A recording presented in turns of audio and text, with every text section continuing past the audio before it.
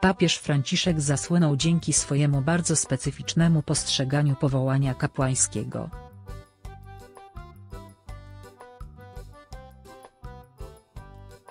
Jego słowa często nie podobają się niektórym wiernym, czy duchownym.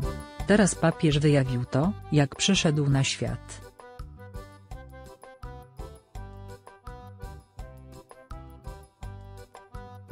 Papież Franciszek zawsze stawiał na skromność. Zrezygnował z wielu rzeczy, które według niego jawiły się zbyt dużym przepychem.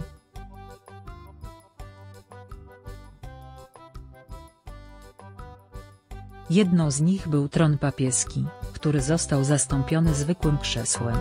Często też jada w zwykłej stołówce, pokazując nam, że jest zwykłym człowiekiem tak samo, jak my.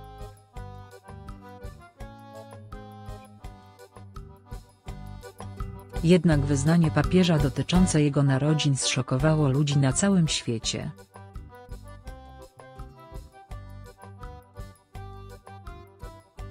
Jak się urodził papież Franciszek? Duchowny w swojej najnowszej książce pod tytułem Dzielenie się mądrością czasu zdradził, w jakich dokładnie okolicznościach przyszedł na świat.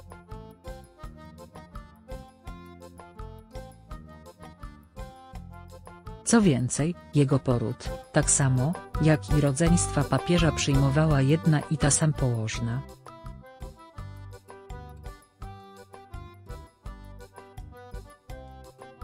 Zawsze w ten sam sposób.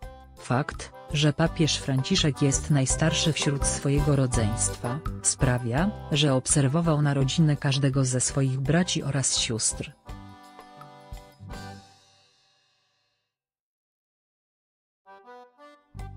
Ja sam przechowuję w sercu pamięć o położnej, która odbierała przy porodzie mnie, moich dwóch braci, Alberta Horacia i Oskara Adriana, oraz moje dwie siostry, Martę Reginę i Marię Lenę.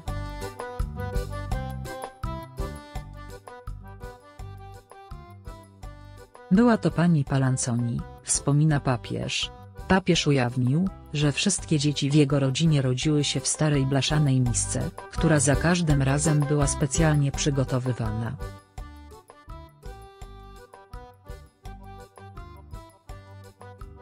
Kiedy dziecko było już przełożone do owej miski, wtedy położna starannie opiekowała się mamą przyszłego papieża oraz dzieckiem.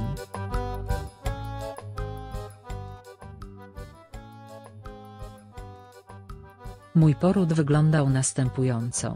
Gdy tylko wydostaliśmy się z mamy, pani Palanconi umieszczała nas w tej misce, a potem zajmowała się troskliwie nami i mamą.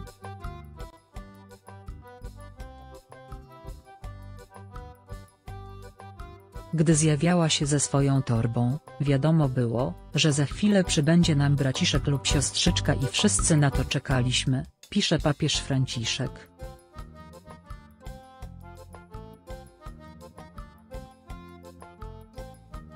Nie da się kryć, że większość z nas przyzwyczajona jest do zupełnie innej wizji porodu.